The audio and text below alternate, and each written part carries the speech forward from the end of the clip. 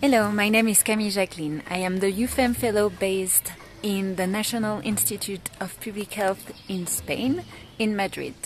And I am from CORE 2021 and I've been in an international assignment in Nairobi, Kenya. At the end of 2022, there was a growing call to support the drought and food insecurity crisis in the Great Horn of Africa and especially to strengthen the epidemiology and surveillance pillar. I immediately applied um, because I already had some experience in malaria diagnostic in Burkina Faso and also because I was really excited to have another experience in an African country. I was looking forward to strengthen my knowledge in surveillance and to work for WHO uh, and learn more about this organization. But it's not until uh, February, January 2023 that I received news that I was accepted and that I will start the mission on the 21st of February. And so I moved uh, to Nairobi and I stayed there for eight weeks and I worked with the incident management support team uh, for the Great Horn of Africa and especially with the Health Information Management team. I got to work in two locations. The first one uh, was here at the UN compound in the Liaison uh, Somalia office that is behind me. And the other one was in uh, the Kenyatta Teaching Hospital where the WHO regional hub is located. So during my stay in Nairobi, I was interested with a project which focused on the mapping of the surveillance system in the seven countries of the Great Horn of Africa. So you can think of Djibouti, Ethiopia, Kenya, Somalia, South Sudan, Sudan, and Uganda. Indeed, before my deployment, there was no a clear overview of what are the systems that were used in those countries to obtain surveillance data. And this is for disease surveillance and nutrition surveillance. And to reach that goal, I contacted key informants from the WHO country offices, including the health information management team leads and nutrition experts. And in the second time, I also contacted the nutrition and health cluster coordinators to learn more about the actions that were taken by other partners. So my field work was mostly teams. But through these interviews, I learned a lot about health and nutrition surveillance in African countries. And so, for example, I learned of the integrated disease surveillance and response framework. Um, and it's a framework in African countries to improve detection and response to the leading cause of illness, death, and disabilities. And through my work, I was able to show that the implementation of this IDSR framework is not uniform in the Great Horn of Africa.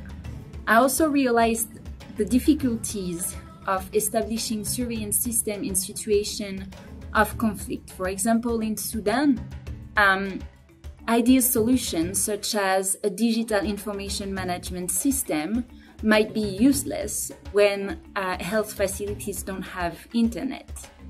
And gaps and challenges in surveillance of disease and nutrition also became quite clear by the end of my deployment. For example, there is a lack of harmonization between data from different sources and different systems, and it's a major problem in some countries.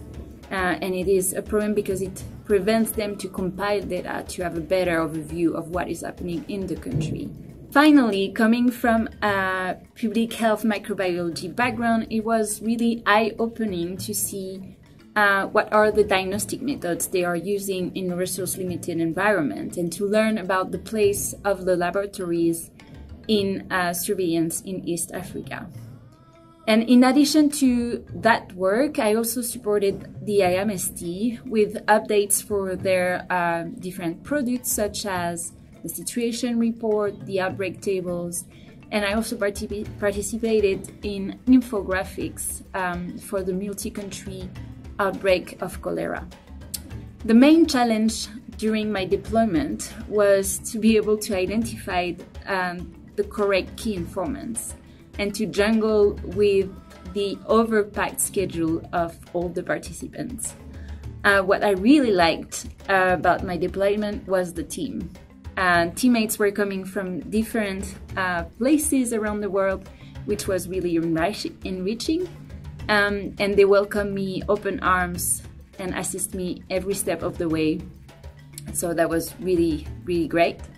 Um, and I'm also happy to have been able to be part of something bigger, uh, which aims to make a real difference uh, for people that are facing food insecurity. Uh, and finally, it was a really good surprise to be able to collaborate with a few alumni of the program, which made all the difference in terms of communication. I was really, really lucky to have um, to be deployed at the same time than two other uh, fellows, uh, one from PAE and one from EPIET. And it was amazing to share our experience both at work and outside of work. All in all, I'm very grateful for this experience. It really broadened my skill set and I have now a better understanding of field epi and surveillance in other parts of the world. On a personal point of view, Nairobi and Kenya in general is an amazing place to live.